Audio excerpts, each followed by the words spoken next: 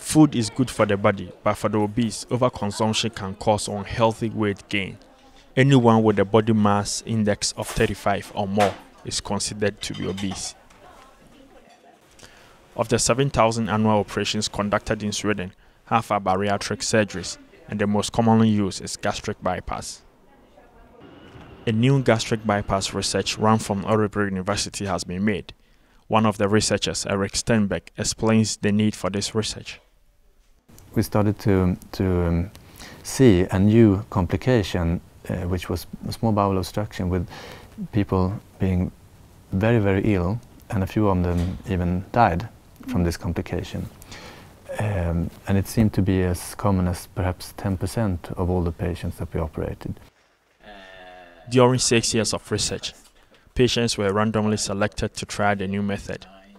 Surgeons are optimistic about the results. It will, it will improve the quality of what we are doing in gastric bypass because uh, the risk for having an, a postoperative complication will be reduced by this. Uh, so, uh, uh with less complications, better quality, better results. With gastric bypass, the size of the stomach is reduced. The bypass is then joined to the duodenum, which is the upper part of the small intestines. Small amount of food will make the stomach full, and one third of weight loss is expected. Personal trainer Oscar Turugut believes a good exercise plan is the only solution to weight loss, and that gastric bypass surgery is not important.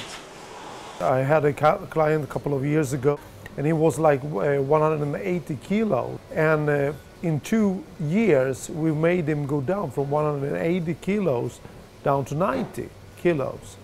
However, the chief surgeon, Ingmar Näslund, has a different opinion.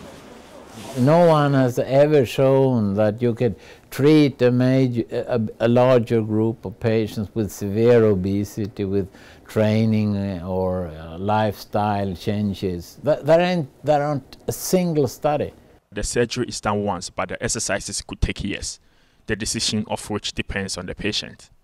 The researchers are quite sure that this method will help other surgeons in the world to reduce complications. Simon Boahen reporting for Unifier.